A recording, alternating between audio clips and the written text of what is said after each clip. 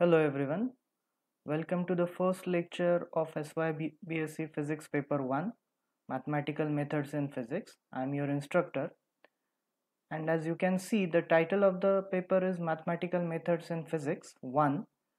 The index 1 here suggests that those who choose physics in their third year have another uh, MMP or Mathematical Methods in Physics paper which is indexed as 2. Uh, code of this paper is 19SC PHY U301. Here, henceforward, we will refer to this paper as the, by its code or by the abbreviative MMP. Now you recognize me, I'll switch off my webcam and we'll start with the presentation only. I'm referring to this lecture as lecture 0 because we will not go into details of any of the topics but what we will do is we will have uh, overview of the whole syllabus. You can see the four chapters that we have in this paper. Chapter 1 is based on complex number. Chapter 2 is differential equations. Chapter 3 is vector analysis. And chapter 4 is Fourier series. So now what we'll do is we'll go quickly through chapter uh, chapter one by one and see the syllabus of each of the chapters. So first chapter as i said is complex number. In the the first topic in this chapter is the introduction of complex number. Uh, many of you perhaps are already aware of what complex number are but i'll just go quickly through what they are. So let's consider one equation. Let's say we have an equation x square plus 1 is equal to 0 now what what we want to do is we want to find out value of x for which this equation is satisfied. So to find out the value of the equation what i do is i take this 1 on the right hand side of the equation and then i have this equation x square is equal to minus 1 now mathematicians historically got into trouble when they came across this kind of equation. The reason is when we consider any real number square of any real number positive or negative is always a positive number. But in this case what we see here is square of x is giving us minus 1 and for that reason what mathematicians did they defined an imaginary number i which is equal to square root of minus 1 this is called as imaginary for obvious reasons as i said no real number when squared can give us negative number. And therefore once this i is defined then now you can solve this equation. X square now becomes plus or minus i. Similarly suppose now we have another equation. X square plus 4 is equal to 0 and we want to find out root of this equation. Again when i change this 4 and take it to the right hand side of the equation what I get is I get into trouble because of this minus sign that 4 has. And now the solution is already with us. X square I can write it as minus 1 into 4 now I'll take square root of that. So what I get is plus or minus i into 2 or this is generally written as plus or minus 2i so this is how the complex number came into the picture. In this chapter, the first thing that we'll discuss is these historical perspectives that we have for the complex numbers, how they came into the picture. Later, the next topic is real and imaginary part of complex number. Now, as we already have defined i, which is imaginary number as square root of minus 1. A complex number now is formed by two parts, x plus i into y where x is a real number and y also is a real number. Because of this i, the number z becomes complex because it has two parts. One part which is real part because it has only real number and the second part is this complex num complex part or imaginary part which is imaginary be because of the multiplication due to i. So any complex number now is made up of real and imaginary part so that is that is going to be the next topic that we want to discuss in this paper the third topic is now complex plane can you tell me how we geometrically represent a real number? That's right. What we do is we draw a number line. Then we define 0 to be origin of this line. Then all the numbers which are on the right hand side of this 0 are positive and all the numbers which are on the left hand side of these this 0 uh, are negative. So this is how, how we can represent real numbers using geometrical figure that is a straight line. But now when it comes to complex number we get into a little bit of limitations of the space. The reason is complex number is made up of two part x plus iy there is this real part and there is this imaginary part so and x and y are independent of each other. So naturally what we will need to represent complex number is a two dimensional figure or a plane where we can represent x on x-axis and we can represent y on y-axis. This is called as real part of the complex number or real axis. And this is this gives us the imaginary part of complex number or the imaginary axis. So that is the next topic that we want to discuss. Then we will dis we will study various representations of complex number any single complex number can be written as z is equal to x plus iy as we said earlier but this is just one representation of complex number there are two more representations namely uh, polar representations of complex number and exponential representations of complex number then in this chapter, next topic is basic algebraic operations of complex number like addition, multiplication, division and subtraction of complex number. Next topic is Euler's formula. This is a very important formula which helps us not only in writing complex, uh, performing various operations of complex number and writing complex number from one representation to another representation, but it, it is also important in many derivations that we come across in uh, physics in particular and science in general. Then we will see a few different functions of complex number. These functions will be powers and roots of complex number. Z if is complex number then what is Z square or what is Z cube or for that matter we can find out square root or Z raised to 1 by 2 or Z raised to 1 by 4 which is the fourth root of complex number. So we will also discuss uh, functions like this. Then we have in this chapter exponential functions of complex number. For example e raised to z suppose we want to find out or we want to find out z raised to z2 or z1 raised to z2 so all this we will discuss in this type of functions which are the exponential functions of complex number then we will discuss trigonometric and hyperbolic functions of complex number sine z or hyperbolic sine of z. Next topic is log of complex number and that is the syllabus for chapter 1. Oh, there is one more topic left which is inverse of trigonometric and inverse of hyperbolic functions.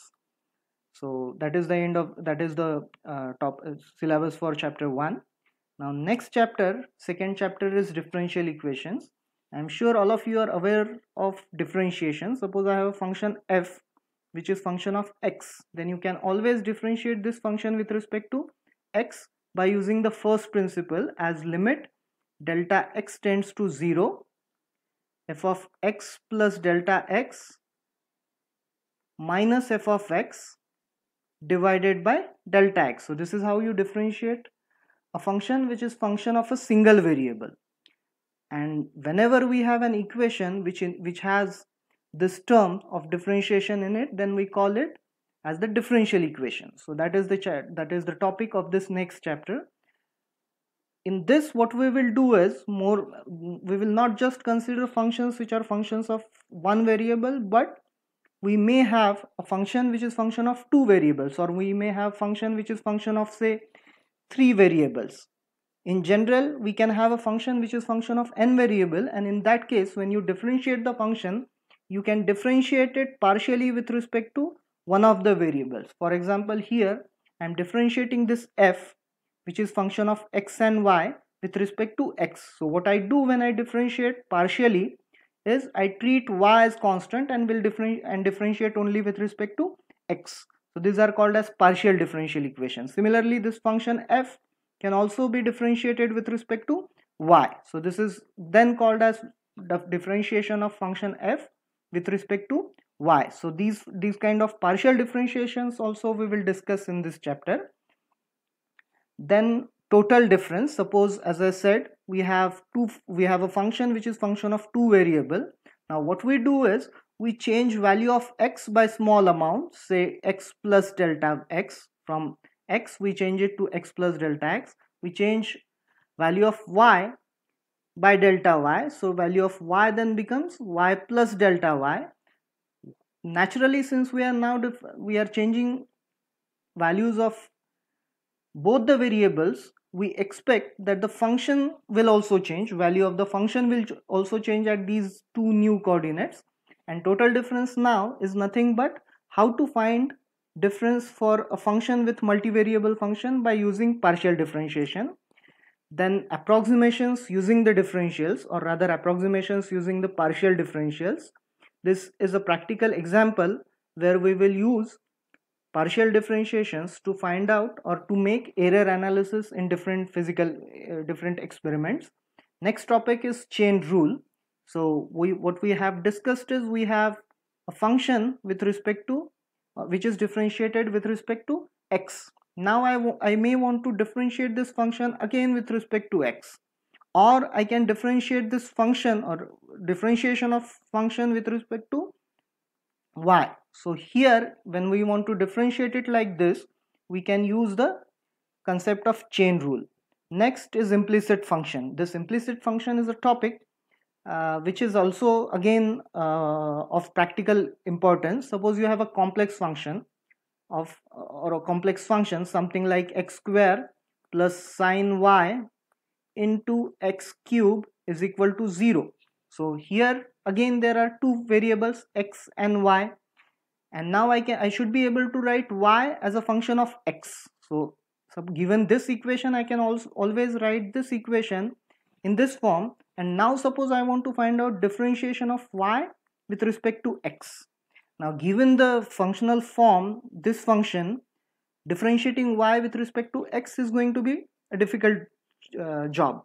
But by using partial differentiation such different this equate this differentiation can be easily found which we'll consider in implicit functions. Next next topic is change of variables. Many times in physics you want to change coordinate system. You may have a rectangular coordinate system which you want to change to spherical polar coordinate system or cylindrical polar coordinate system depending on your system. In that case this change of variable topic is going to help you whenever these kind of situations arise. Now the third chapter is vector analysis. I think all of you are already familiar with scalar and vector product of two vectors. Suppose we are given two vectors A and vector B. Then scalar product is nothing but A dot B and vector product is A cross B. Now in this case, in case of dot product, A dot B gives us a scalar. The output of this operation is a number without any direction. So it's a scalar quantity and therefore it is called as scalar product of two vectors. Whereas this operation gives us a vector with which has magnitude and which has direction also. That's why it is called as vector product uh, of two vectors. So that is the review that we will uh, go through while discussing this chapter. Next topic is triple product. Now what we can do is you can you can have three vectors vector a b and c and you can perform an operation like a dot b cross c. So in this case b cross c is some another vector. Let me call that vector as d. And what you are doing then is you are taking dot product of this vector with this d. And naturally this operation will give you again a scalar quantity so there is there are three vectors, three, therefore triple product of vector, but this gives us a scalar, so it is called as scalar triple product. Or you can have something like this, A cross B cross C. Now operation B cross C is a vector and A cross D is again going to be a vector quantity. so that's why it is called as vector triple product so we will consider this in triple products then next topic in this chapter is differentiations differentiation of a vector with respect to scalar. You may have a particle which is moving in three dimensions. So it has x component y component and z component. And now you want to find out the acceleration. So what you do is you differentiate this vector with respect to time or you differentiate the vector with respect to scalar and therefore it is called as differentiation of vectors so we'll consider such differentiation. We'll formally define what it means to differentiate a vector with respect to a scalar. Then we have gradient of a scalar field. A scalar field is nothing but a field which is defined for space. So what is value for a particular of a of any scalar at different points in space y of x y z. Now what you can do is you can differentiate this with respect to x partially you can differentiate this with, respect to y partially or you can differentiate this with respect to z, z partially. Multiply this first term by i which is unit vector along x-axis this is multiply the second term by j and multiply the third term by sorry multiply the third term by k and this is called as the gradient of the scalar field. Don't worry if you don't get it right now. We'll discuss it in detail when we discuss this chapter this particular chapter. Next topic is line integration and conservative field. It is very much uh, related with what you have studied in classical mechanics conservative force fields gravitation uh, Hooke's law, all these are forces, vector fields, which are conservative force fields. So that we will again revise and we'll see a mathemat see that particular topic from mathematics point of view. Next topic is divergence and divergence theorem.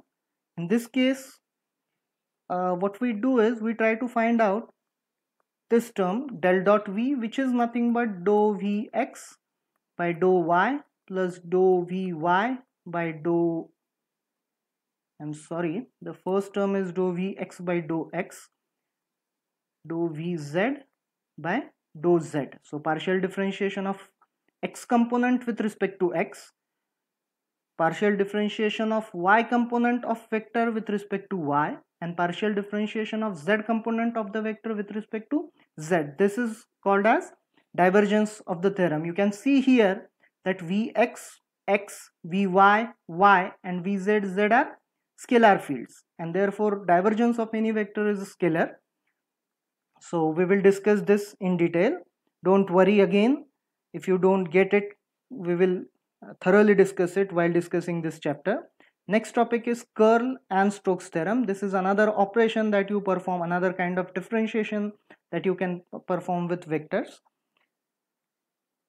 and finally in this chapter what we will discuss is Maxwell's equations of electrodynamics. This topic itself is a it's a, in itself is a big topic. We, we are not going to discuss it very thoroughly. What we will do is we'll all these topics or rather these three gradient divergence and curl of vector field that we have studied we will apply these three concepts to um, equations of electrostatic that you already have seen last year.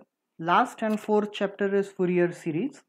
Uh, in this we will discuss how we can expand any function f which is function of x in terms of sine and cosine.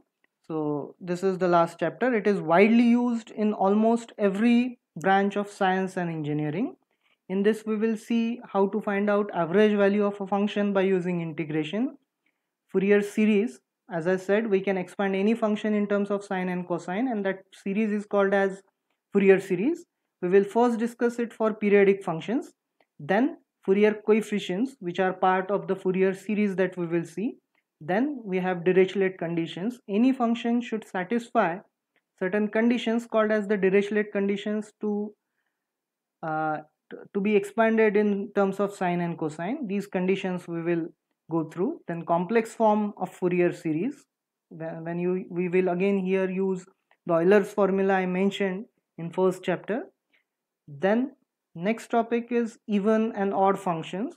If when you have function which is symmetric or anti antisymmetric about y-axis then you don't have to worry too much about the Fourier coefficients half of the Fourier coefficients vanish in that case and we will discuss that particular here that particular thing here. Parseval's theorem is uh, a theorem in Fourier series which is uh, which has very wide application in physics also.